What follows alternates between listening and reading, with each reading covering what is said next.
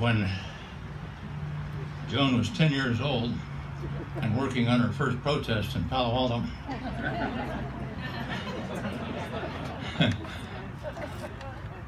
I was a Marine Rifle Platoon leader leading bayonet assaults in Korea.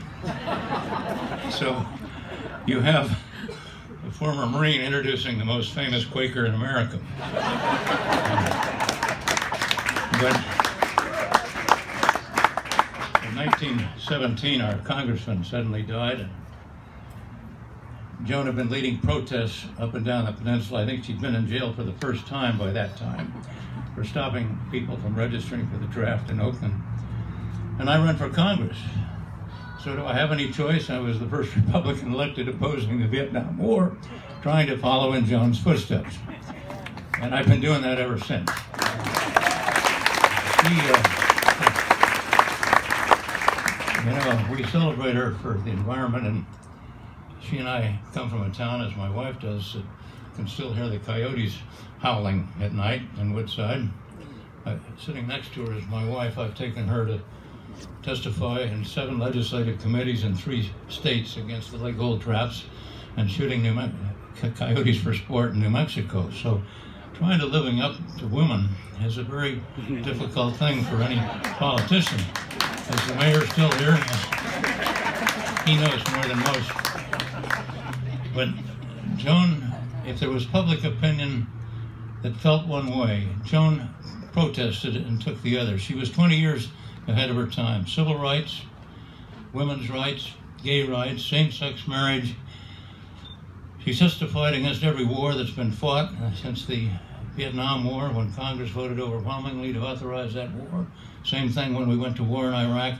Joan's out there speaking against the war. The Congress is voting for it. She has stood courageously for more causes. She's probably inspired more people in good causes than anybody in America. It's kind of an honor to follow in her footsteps as I've tried to do, and no way to keep up with her. She marched with Martin Luther King and Cesar Chavez. I marched with Coretta King and and uh, Dolores Huerta. So we,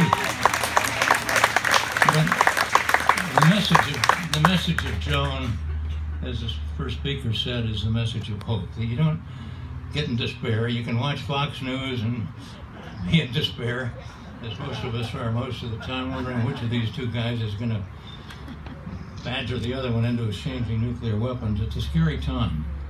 But the hope that Joan has given to people all over the world, homeless people, poor people in Africa, poor people in Latin America, the time she's gone to jail, I honor her. She went to Hanoi in 1972. I was taking on Nixon in New Hampshire.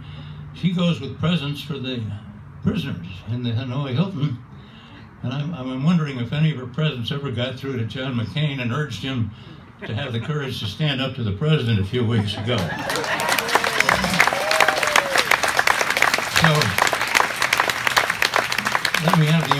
Introducing perhaps the most inspirational woman of our time, Joan Baez.